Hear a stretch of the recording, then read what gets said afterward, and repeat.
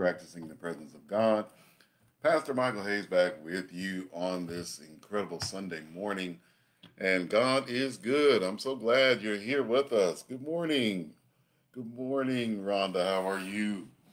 I trust that things are going well and that you had or are having, I may should say, a wonderful weekend. It is the second half of the weekend. and we know we love our weekends here at PTPOG. Good morning, Smitta. How are you? Good morning. How are you? So, listen, today is an incredible day because today I'm using our camera for the first time. So, I'm praying that this looks better to you, that the image is a little bit sharper, a little bit crisper, and uh, that things are, are, are looking a lot better than they are. If they if they are looking better, let me know. If they aren't looking better, let me know. Uh, give me some feedback so I can uh, adjust things as needed. But uh, the point is, the camera that you guys were able to uh, help me purchase is in use right now. I was able to put it together uh, for today. So I hope that uh, it's it's looking better. Uh, I hope that it's in balance and everything is, is better. I got to get some lighting, some better lighting going on, and some other things that I need to put together. But I thank God so much for you and those of you who uh, donated and gave to me. Uh, so it's just such a blessing. I really, really appreciate you so much. And uh, I feel so much better to be able to be uh, on live every single morning. With that, we're moving forward in our messages today. oh, it is clear, Smith. Okay, good, good, good. I'm glad, glad. I know the camera it's really clear. That's one thing about it. It's really clear. So you you know you got to be careful because this camera picks up, up just about everything. So, anyway, uh, we're looking at Proverbs 21 and verse number 12. Proverbs 21, and we're looking at verse number 12. We're going to see what God has for us today. In Proverbs 21 and verse 12, it says, The righteous man wisely considereth the house of the wicked, but God overthrows the wicked for their wickedness. Going to say that one more time. The righteous man wisely considers the house of the wicked, but oh, but God overthrows the wicked uh, for their wickedness. Today, today we're looking and speaking from the subject. Hey, Sherry. Oh, good, good, good. Oh, thank you. you like that shirt? Yeah, I need the body to put in this shirt. I'm gonna get slim one day. I'm to get slim one day. Thank you, Sherry. So we're looking today at don't let patience fool you.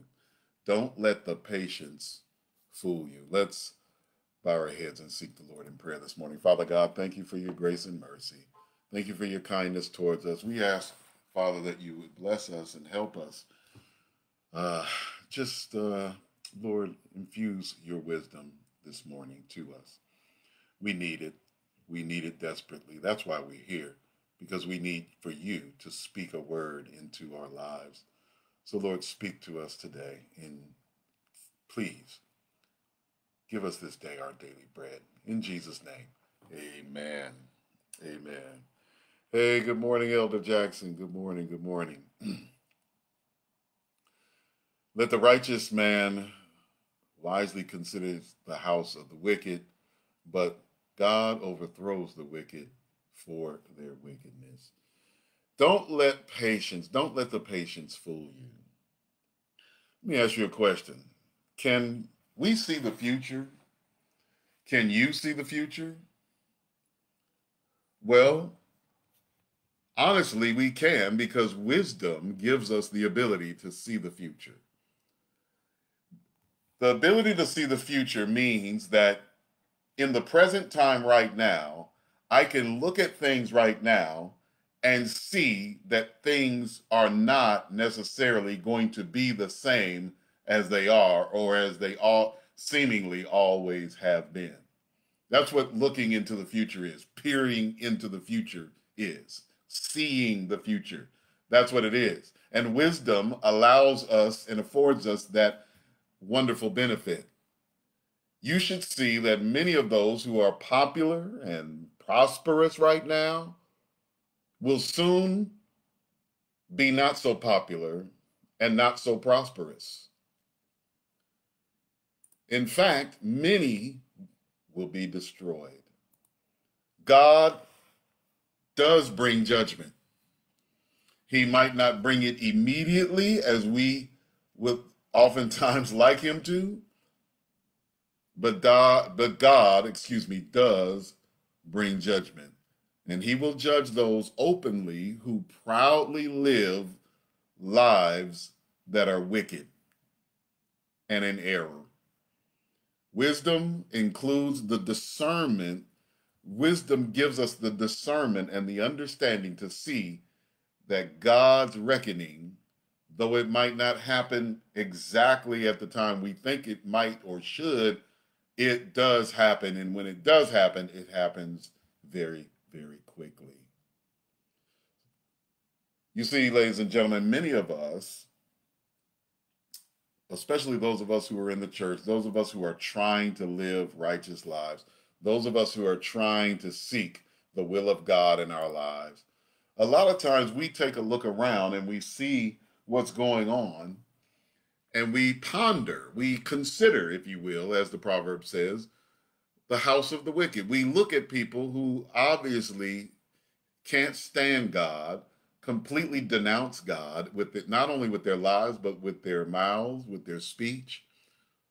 We see the evil and wickedness that is portrayed right before our very eyes, on oftentimes on camera, on the news, and people even be seem to become more popular as a result of it.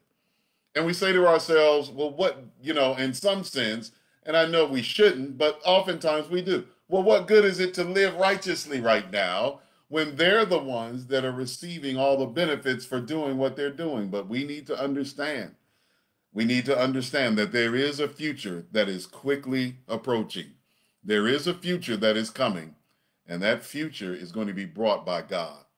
And when that future comes, God is going to separate the goats from the sheep, as it were. God is going to make a differentiation between those who are righteous and those who are not righteous. And so the first point on this subject I want to make is this the wise know, the wise know that sin will ultimately destroy those who embrace it. The wise know that sin will ultimately destroy those who embrace it.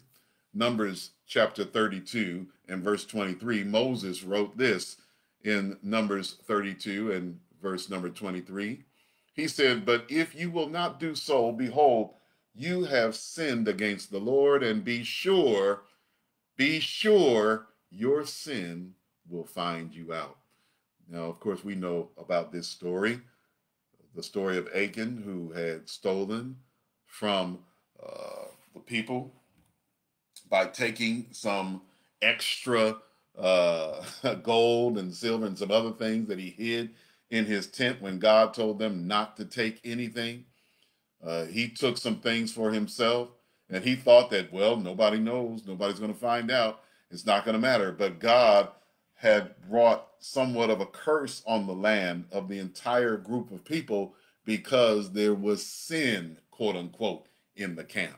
You see, ladies and gentlemen, many people think that when I do things that are outside the will of God, or when I do things that are outside the ways of righteousness, that it really doesn't impose itself on anybody else but myself. It's just my sin.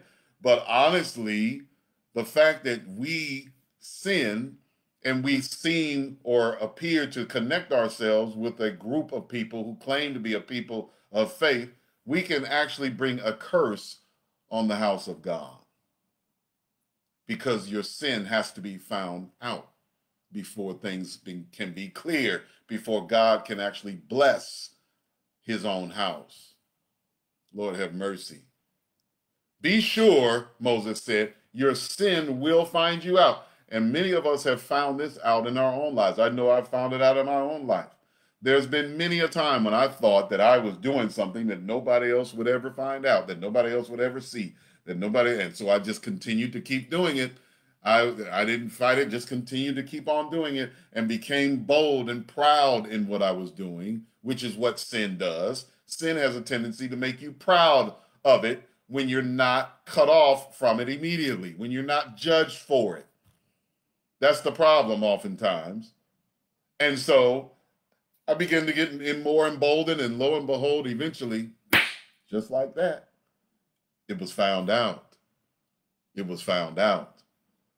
And I know you have had similar experiences, either when you were young or even as you're older now. The truth of the matter is, be sure the idea that, well, I can sin with impunity and nobody's ever going to find out, it's never going to bother anybody, that is not true. That is not true. And that's what we need to learn from this particular proverb today. Notice with me Job chapter 20, verses 4 through 7. Job chapter 20. This is the book of Job. Incredible book. I believe it's another book written by Moses himself on the story of Job. Moses is the author, more than likely. And notice what the book of Job says here in Job chapter 20, verses 4 through 7. Knowest thou not this of old? since man was placed upon the earth, that the triumphing of the wicked is short, and the joy of the hypocrite is but for a moment. Though his excellency mount up to the heavens, and his head reach unto the clouds, yet he shall perish for his forever like his own dung. They which have seen him shall say, Where is he? Mercy. What is that text telling us? That text is telling us when we involve ourselves in wickedness, in debauchery, and foolishness, and evil, that, ladies and gentlemen, our lives don't last long. Our life involving ourselves in such practices, triumphing over others by declaring, hey, I'm wicked and I can do whatever I want to do and I don't care what anybody says, it won't last long. It is but for a short time, Job says. He says, the joy of the hypocrite, the hypocrite, the one who knows to do right and pretends like he is doing right, but is doing wrong and is feeling joyful and victorious about it, emboldened in it, says, listen, your joy is only going to be for a moment. Mercy. Mercy. Be sure your sin will find you out you and I need to know that that as wise people, sin ultimately will destroy those who embrace it. Point number two is this on this subject. The wise know that the sinner's life of pleasure is temporary at best. Once again, we see this in Psalm 73, Psalm Division 73, verses 3 through 6. The Bible says, For I was envious at the foolish when I saw the prosperity of the wicked. Notice what David is saying. He said, I was envious. I was kind of jealous of the wicked when I saw how prosperous they were. And how many know that wicked people on this planet, unfortunately, are oftentimes very prosperous because of the corruption that we find on our planet? You can be evil, wicked, you can do wicked things and practically get away with it. In fact, you might even get a pat on the back for it.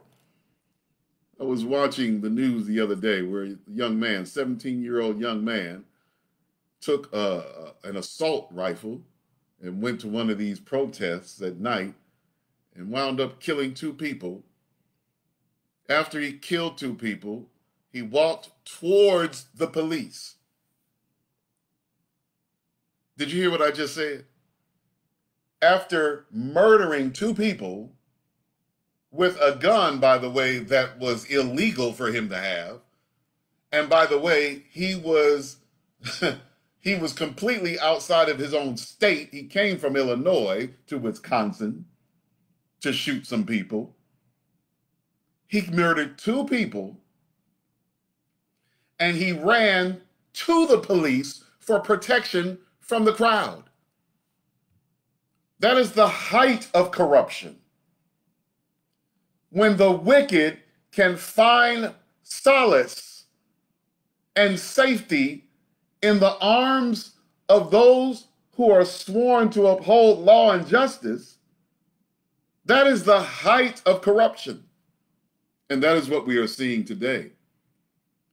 We're seeing the folly of individuals being rewarded right in front of our very eyes. And oftentimes, as, as Christians and as those who are seeking to do what's right, who are trying to sacrifice doing what we want to do for the sake of God and for his purpose on this planet and for the sake of saving others, we oftentimes have a tendency, like the psalmist here, become envious of those who can do whatever they jolly well please, and yet they continue to be prosperous.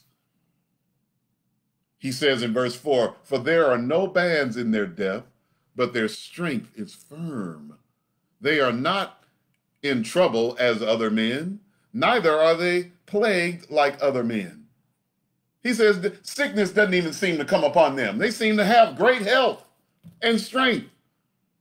Isn't that something? And the people of God sometimes seem like they're always in the hospital. Have you ever felt like that?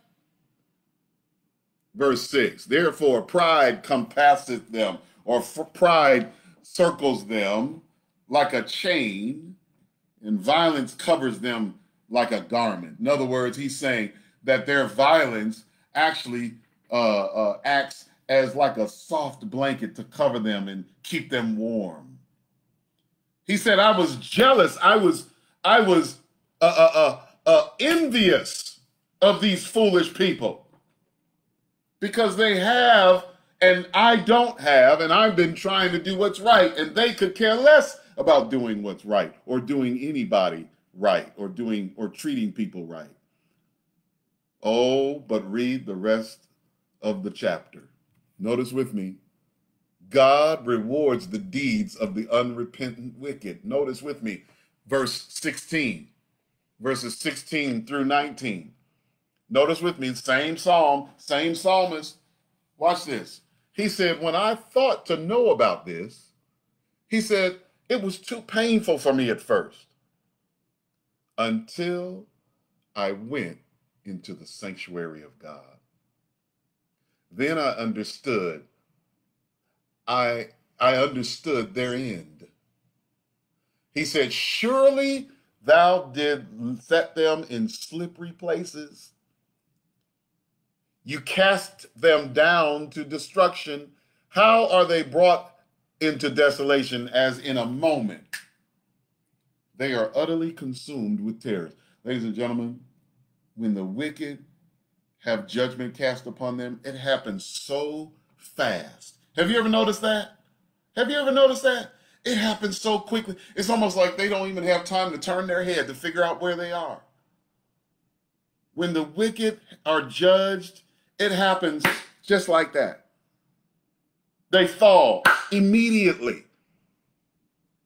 Have you ever noticed that? Have you ever noticed that when you're involving yourself in wicked acts, in foolish acts, that, that when judgment comes in your life, that it happens right quickly, immediately.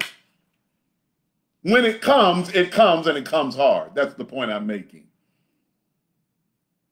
God is trying to tell us through the pen of the psalmist listen, don't, don't overly consider the house of the wicked to such to the point that you think or feel jealous of them. We should never be jealous of the wicked. Come on, say amen. We should never be envious of what the wicked are capable or able to do or what they are experiencing right now because right now is their only reward. There's a new life coming. There's a everlasting life coming, and unfortunately, if they continue in their ways, they won't have any part in it. We should feel sad for them. We should feel brokenhearted for them. We should pray for the wicked and ask God to reach into their heart and seek to change their lives as well as changing our hearts and minds. Notice with me, point number three. The wise know that there is a difference between the righteous and the wicked. The wise know that there is a difference between the righteous and the wicked. According to Solomon, Solomon, wisest man ever lived besides Jesus, told us very, very clearly in Proverbs chapter 13, verses 21 and 22. Here's what he says He says, Evil pursues sinners. Did you hear that?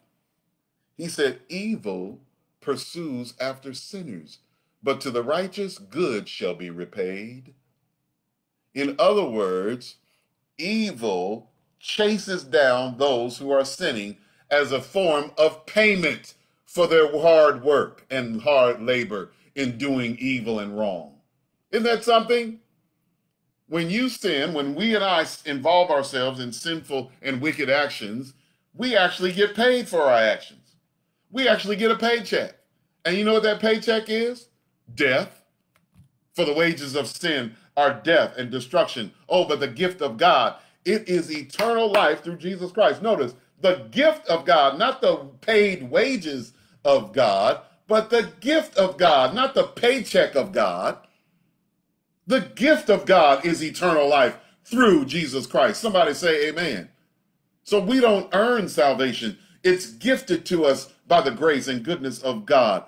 But ladies and gentlemen, you work hard and you go into the labor camp for sin only to receive a reward of eternal death. I don't want that reward. Come on, say amen. You can keep that, devil. Come on, say amen.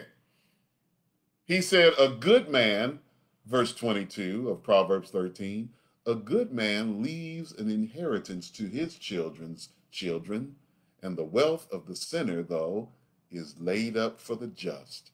Isn't that something? God says, God says that don't be don't be concerned about all these uh, you know, wayward and and corrupt people gathering all this money to themselves. God says they're gathering it up for those of you who are following after my righteousness. He said they're laying up their treasure for the just. That's what God says. That's why we don't have to be upset and, and scared and concerned about the fact that the ultra rich are making their coffers bigger and larger and richer as a result of this COVID 19 situation. We all know what's going on. We can see it. We're not blind. The ultra rich are making things richer for themselves while stealing and robbing from those who work hard every single day. Doesn't matter. God says they're gathering their riches up to gather up to give to my righteous ones. Mercy. That's some rough stuff. Come on, say amen. But not for us. Not for us. Let them gather, let them collect, let them reserve and hold on to and save and save and save up. Because they're only doing it for us, those of us who love the Lord and who are called according to his purpose. Come on, say amen. Notice with me Proverbs chapter 11. Proverbs chapter 11, verses 18 through 21. Here's what the Bible says The wicked work in a deceitful work. But to him that sows righteousness, so he that pursueth evil pursues it to his own death. Mercy. They that are of a froward heart, or the, the, the, people who are boisterous in their sin, who are loud with their corruption, that's a froward heart.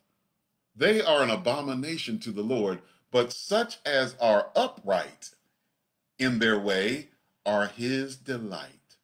And though hand joined in hand, the wicked shall not go unpunished, but the seed of the righteous, they shall be delivered. Somebody say, Amen.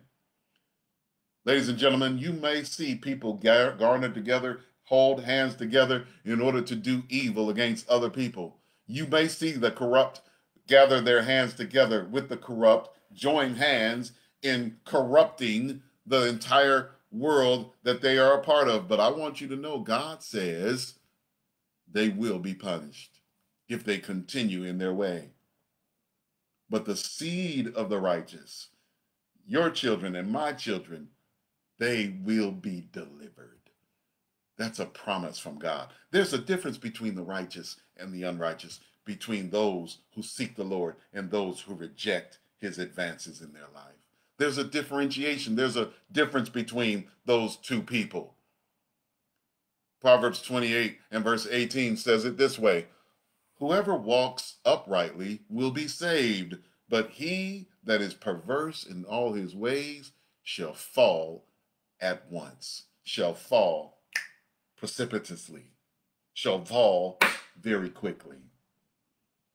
You see, ladies and gentlemen, those who are perverse in their ways, those who walk in the wickedness and corruption and evil of this world and embrace it, oh, it looks like they're having a good time right now. They're having a party all day and all night. Oh, it looks like they're just living high off of their wicked hog right now. But, ladies and gentlemen, when destruction comes, it comes hard, it comes fast, it comes quickly.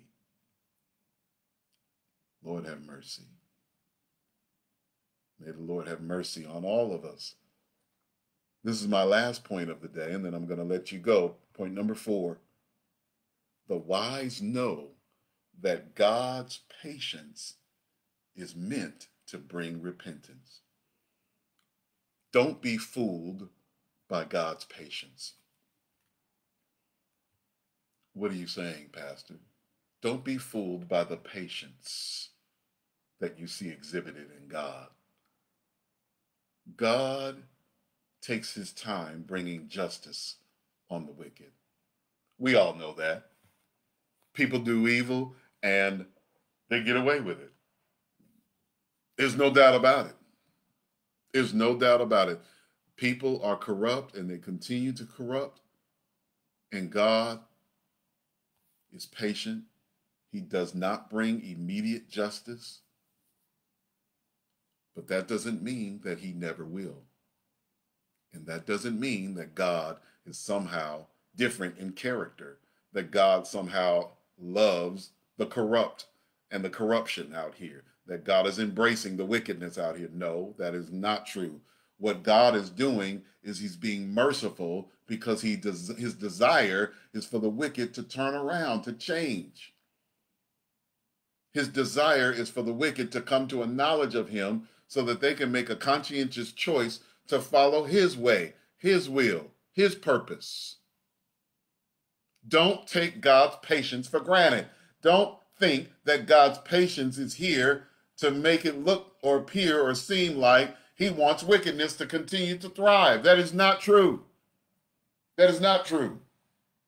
God is patient for a reason so that we can learn to change and turn around. It says in 2 Peter chapter 3 verses 9 and 10, the Lord is not slack concerning his promise, as some men count slackness, but in fact, he's patient towards us not willing that any should perish, but that we all should come to repentance. The reason why God is so patient, the reason why God is so long suffering and kind towards us and does not bring immediate justice on us when we do wrong is because he desires for our heart to repent.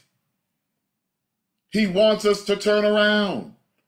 He hopefully wants us to see his love and justice and patience and kindness towards us and his grace that he gives us on a daily basis as we see new mercies every morning, as Jeremiah says. Hopefully, we will wake up and see that God is good and we need to stop involving ourselves in these wicked and terrible, corrupt actions that we're doing. That is God's purpose in being patient with us, to get us to turn around. Notice verse 10, though. Notice verse 10. But the day of the Lord, mm, he said, I wish that all of you come to repentance. That's why I'm being patient with you. He says, but I want you to understand something. Watch verse 10. Watch verse 10. This is the character of God. Watch verse 10. He said, but don't misinterpret. Don't, don't, don't, don't be fooled by my patience. Because the day of the Lord will come like a thief in the night. in the which the heavens are going to pass away with a great noise, and the elements will melt with fervent heat. The earth also and the works therein shall all be burned up, and you and I are going to be burned up with it if we cling to the wickedness of this world. God says, You've got to wake up. Don't be fooled by my patience. Don't be fooled, but instead repent. Because when the day of the Lord arrives, it's going to come like a thief in the night. How does a thief come? He make that's a simile there. That's a simile. Like or as is a simile in grammatical uh, study. So God says, "I'm coming like or as a thief in the night." How does that's that that poses a question? How does a thief come in the night? Does a thief come telling you, "Hey, hey, hey, I'm a thief. I'm a, I'm about to rob your house"? Does a thief do that? Does a thief tell you immediately when he's coming? No. And neither is God. When the day of the Lord comes, most won't even know he's coming. Most won't even recognize it. Like a thief, he's going to show up out of nowhere. It's going to come and it's going to come quickly, especially against those who don't know him. That's what God is saying. Don't be fooled by my patience. The righteous understand the righteous understand God's plan of patience, and they become patient themselves like their God. The righteous understand God's patience, God's plan of patience. They understand his plan because they know that the Lord is merciful. The reason why God is patient is because, listen, God has been patient with me. That's why I understand why he's being patient with all these other crazy people out here doing all this crazy stuff, because he's been patient with my crazy self. Somebody say amen. God could have wiped me out a long time ago, but he hasn't, and he did not. And I thank you for it. Thank you, God. Thank you, Lord, for being patient with me. So therefore, I don't want or desire for God to be impatient with others why? Because he's been kind and long suffering with me. So I'm going to learn to be patient with him. I'm going to allow God to do his perfect work. I'm going to allow patience to have its perfect work, as it says in James chapter 1. Let patience have her perfect work. In other words, let God's mercy do its operative work on the hearts of men the hardened hearts of men and women. I'm patient because God is patient. I'm kind because God is kind. I'm merciful because God is merciful. I'm forgiving because God has forgiven me. I take on the character of my Father, which is in heaven. Notice with me Psalm 37, Psalm Division 37. This is our last text for the day. Psalm Division 37, verses 7 through 11. Here's what the Word of God says Rest in the Lord and wait patiently for Him. Don't fret yourself because of him who prospers in his way, because of the man who brings wicked devices to pass. Don't fret yourself. Don't become frustrated because people are prospering doing their own wicked things. He says, cease from anger, verse 8. Cease from being angry against them because that's going to make you like them. Don't be angry like them. Forsake your wrath, he says. Don't frustrate yourself in any wise to do evil. Notice, anger is a precept for evil. It's a precursor to doing evil. That's why, ladies and gentlemen, we've got to be careful about being angry about racism and injustice out here. I understand it. I recognize it. I realize it. But you and I don't need to ponder it over and over again and allow that anger to come up in us and turn us into evil and wicked people. Are you listening to me? Instead, let patience have her perfect work. Well, when is God going to do what he's supposed to do? That's not your issue. That's not your problem. God is God. You are God's child.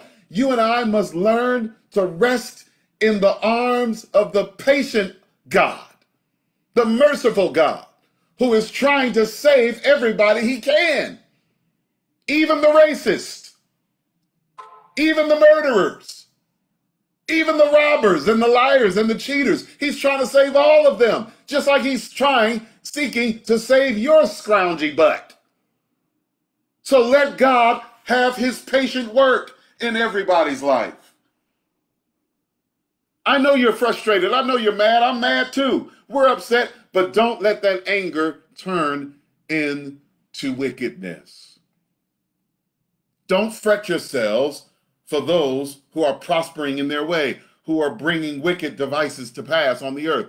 Cease from your anger, forsake wrath, fret not yourself in any wise to do evil, for evildoers will be cut off.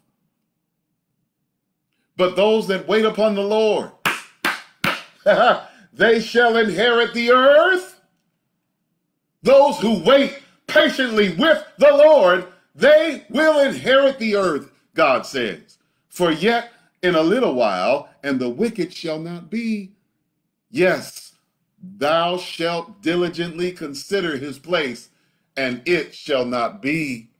Verse 11, but the meek, the meek the meek shall inherit the earth. Not the ones who take up arms and get out here and start fighting against people. No, the meek shall inherit the earth, God says. Not the people who pick up swords and guns and get out here and start shooting at people because I don't like the fact that they don't like me. No, the meek shall inherit the earth.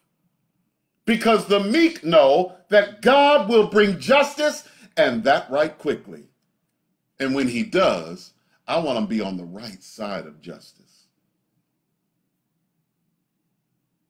Notice, the meek shall inherit the earth, and they shall delight themselves in the abundance of peace.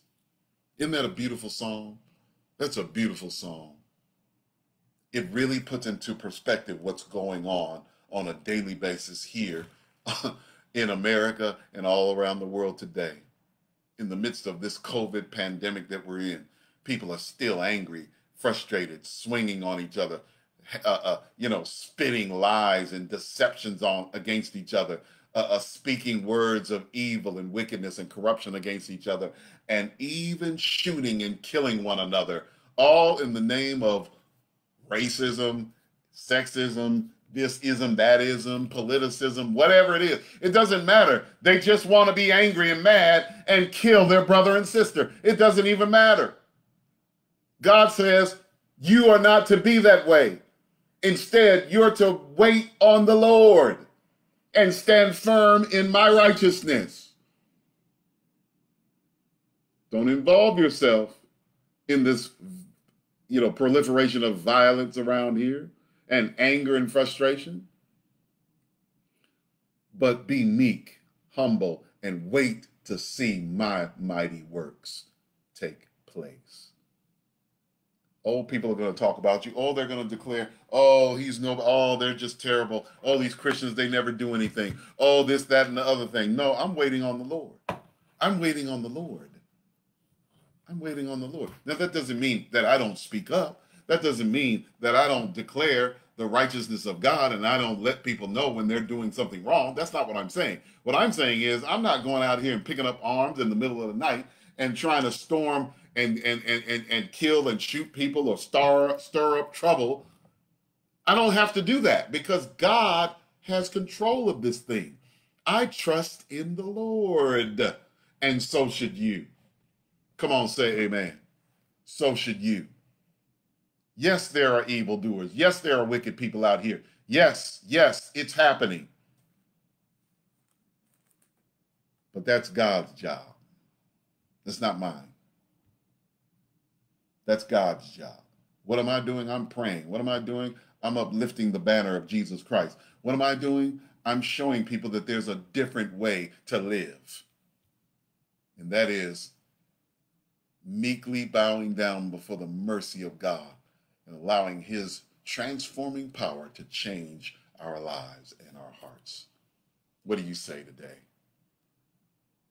Praise the Lord. Let's bow our heads. Father God, I thank you for your grace and mercy. Thank you, Lord, for reminding us today that just because you're patient doesn't mean you aren't just.